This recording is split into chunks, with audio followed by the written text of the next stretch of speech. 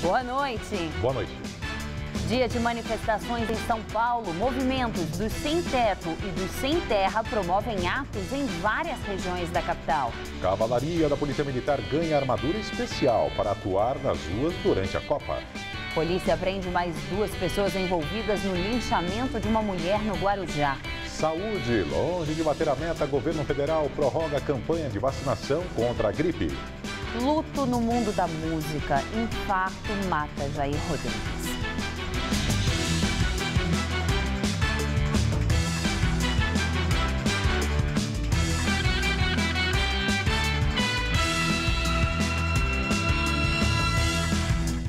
Morreu hoje, aos 75 anos, um ícone da música brasileira, Jair Rodrigues.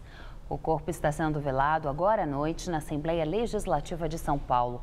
A repórter Sabrina Pires está no local e tem mais informações.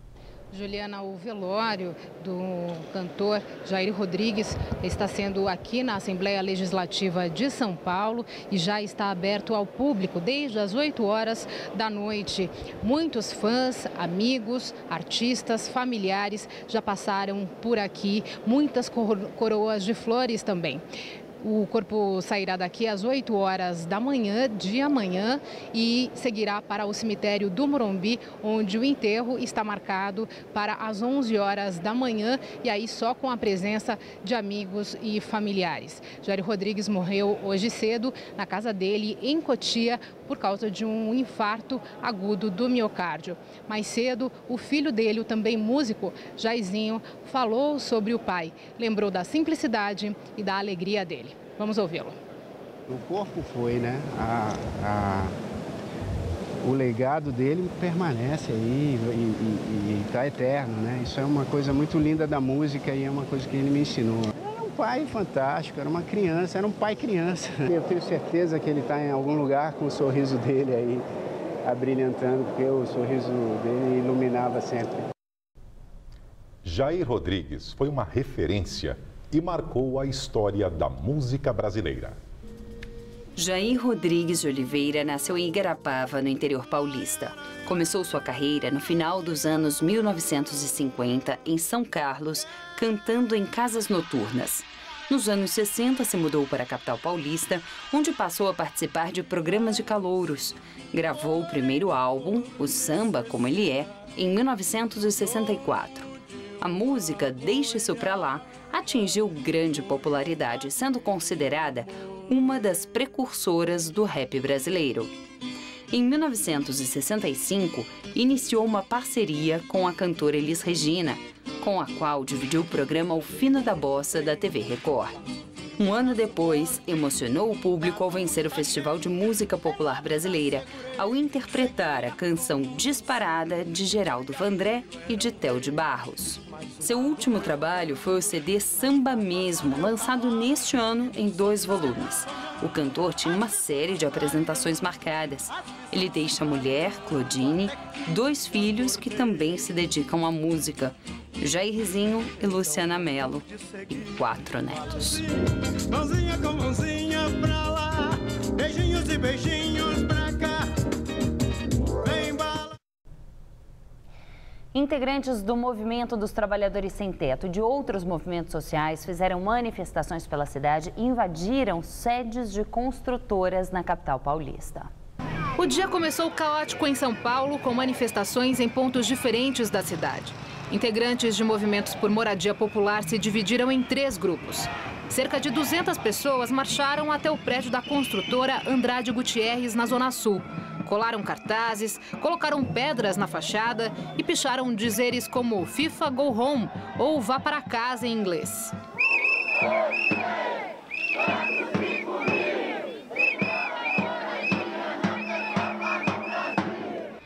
Outro grupo foi para a Avenida Angélica, no escritório da construtora OAS. Novamente, mais pichações. Moradores de uma invasão do Grajaú também bloquearam a Avenida Paulista. No protesto, teve até roda de capoeira e futebol. Mas a maior concentração foi na estação Butantã do metrô. 1.500 manifestantes saíram em passeata em direção ao escritório da construtora Odebrecht, na Avenida Corifeu de Azevedo Marques. O grupo invadiu o prédio e provocou grandes estragos. Balões de tintas e cartazes foram as marcas deixadas pelo protesto.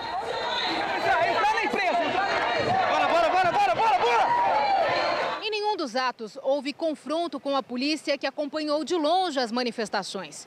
Segundo o MTST, os protestos anti-Copa e de reivindicação por moradia popular vão continuar. A liderança do Movimento dos Trabalhadores Sem Teto conseguiu ser recebida pela presidente Dilma Rousseff em visita a São Paulo. Ela prometeu que vai encaminhar as famílias ao programa Minha Casa Minha Vida.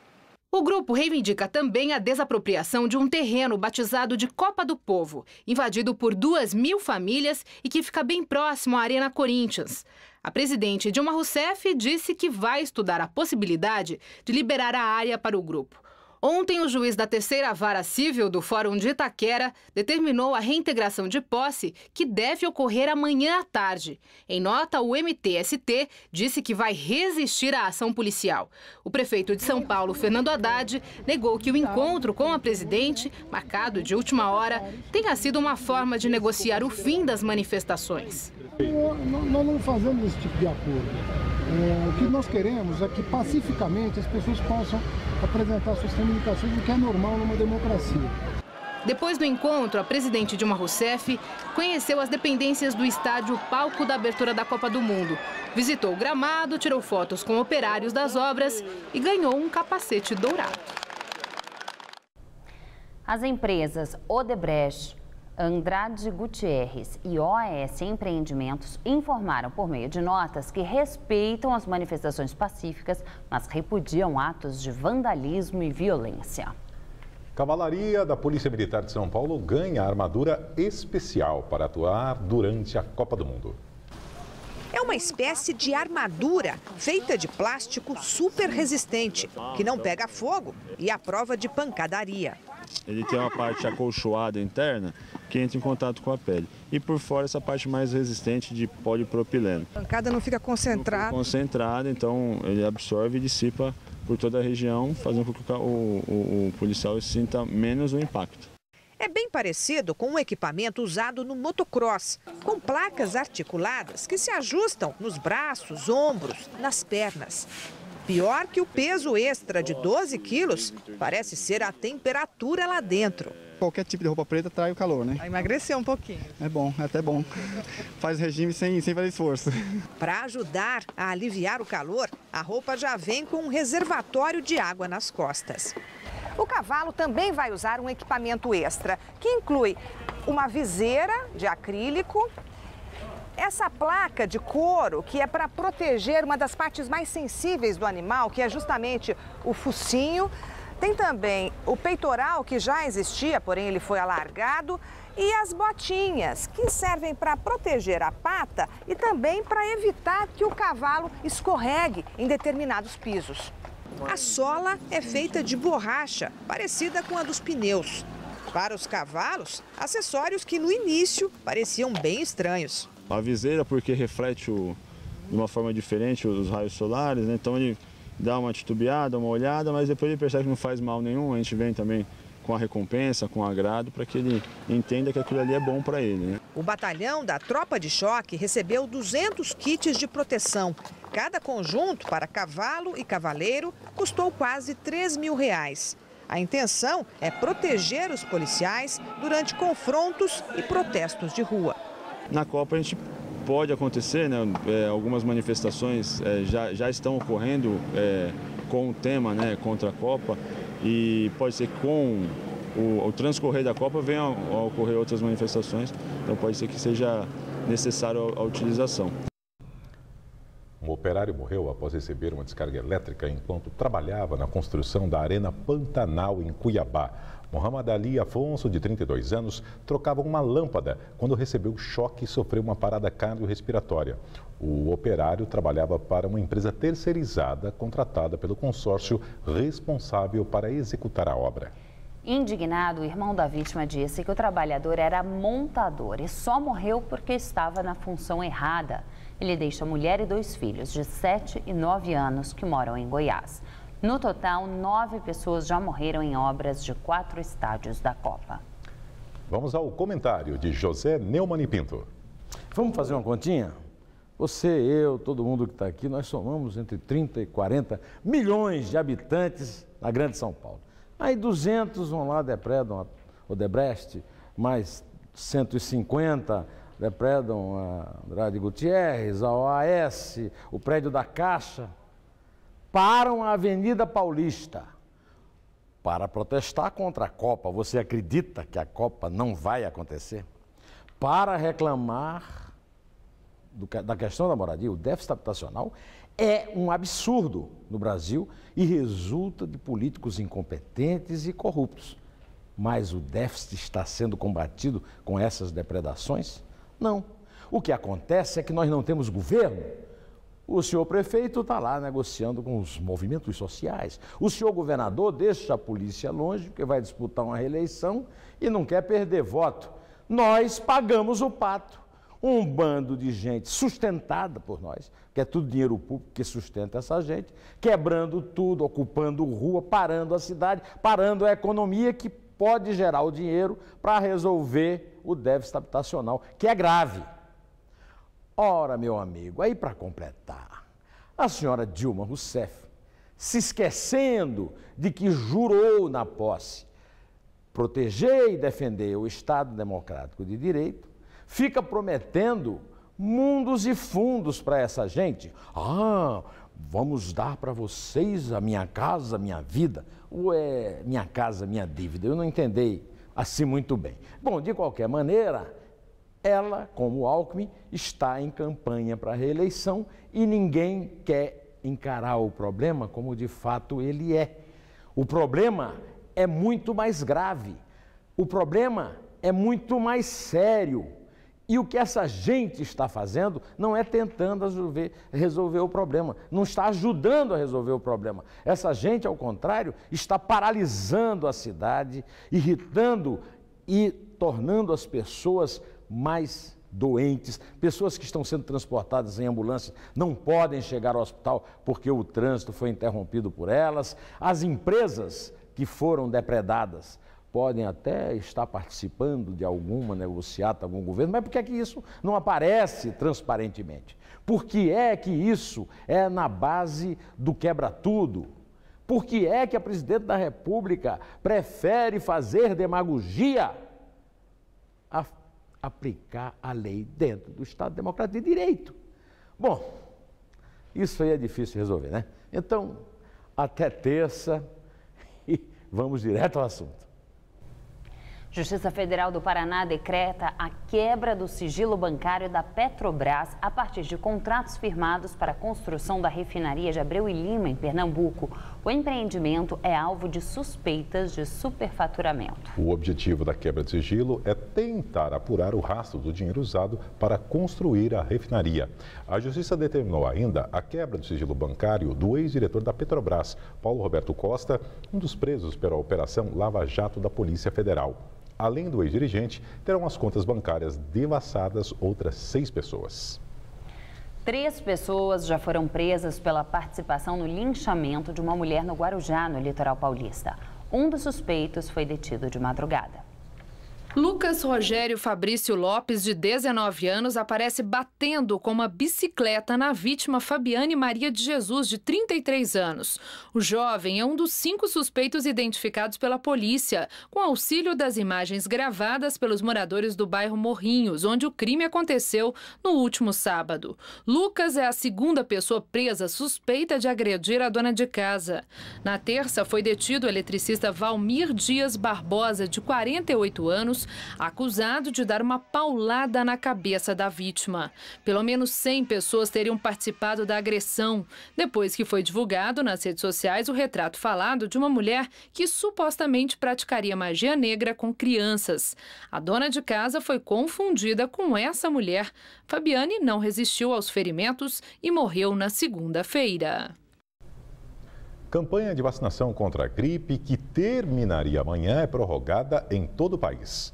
Segundo o Ministério da Saúde, até hoje, 21 milhões e 300 mil brasileiros se vacinaram contra a doença, o que representa pouco mais de 53% do público-alvo da campanha. A meta do governo é atingir 80% dessa população.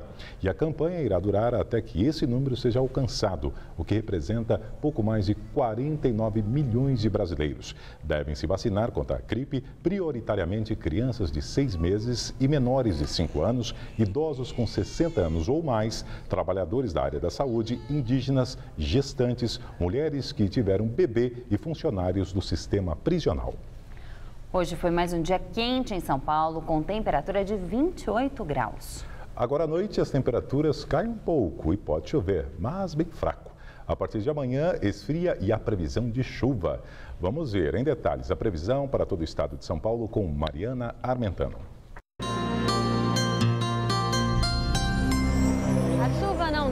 Forte, mas ajuda a melhorar a qualidade do ar do paulistano. No interior, a umidade do ar continua baixa, o sol aparece com força entre poucas nuvens, faz calor e não há expectativa de chuva. Os termômetros chegam à marca dos 32 graus na cidade de Votuporanga. Calorão também em Ribeirão Preto, máxima de 29 graus por lá. Já na faixa leste, a umidade vinda do oceano favorece a formação de muitas nuvens. No litoral, a máxima não passa dos 24 graus e chove fraco a qualquer hora do dia. Já aqui na capital, chove a partir da tarde. Amanhã, mínima de 16 e máxima de 24 graus. No sábado, o tempo fica mais fechado, mínima de 15 e máxima de apenas 20 graus. Já no domingo, não há expectativa de chuva, mas a máxima não passa dos 22. Educação. Inscrições para o Enem começam na segunda-feira. Segundo o Ministério da Educação, as inscrições ficarão abertas até o dia 23 deste mês. Ainda segundo a pasta, o Exame Nacional do Ensino Médio acontecerá nos dias 8 e 9 de novembro. Entre as novidades deste ano estão o uso de um detector de metais nas salas para evitar fraudes e a tradução do edital para auxiliar estudantes com deficiência auditiva e visual. O Ministério da Educação estima que mais de 8 milhões de estudantes prestarão o Enem neste ano. A seguir, terremoto de mais de 6 graus na escala Richter atinge o México. Briga ao vivo. Na Jordânia, jornalistas discutem e programa termina em quebra-quebra. Discussão entre dois jornalistas acaba em briga durante programa de TV na Jordânia. Os dois eram convidados de um programa de debates que tinha como tema a crise na Síria. No decorrer da conversa, começaram a surgir acusações recíprocas de corrupção. O mediador do programa tentou intervir, mas as críticas ficaram mais violentas, até que ambos se levantaram e tentaram agredir um ao outro. A confusão só teve fim quando outros membros da equipe do canal de televisão entraram no estúdio para apartar a briga. No México, o terremoto atinge a capital do país. Por enquanto, não há registro de feridos. O tremor foi de 6,4 graus na escala Richter. A cidade do México foi a mais atingida e prédios tiveram que ser desocupados. Apesar da força do terremoto, as ocorrências na capital não foram graves, sendo registrados apenas um ponto de vazamento de gás e as quedas de um muro e de uma árvore. Alguns pontos da cidade ficaram sem energia elétrica. O governo imediatamente anunciou um plano de monitoramento para auxiliar as possíveis vítimas do tremor. A edição das 10 do Jornal da Gazeta termina aqui. Uma boa noite e até amanhã.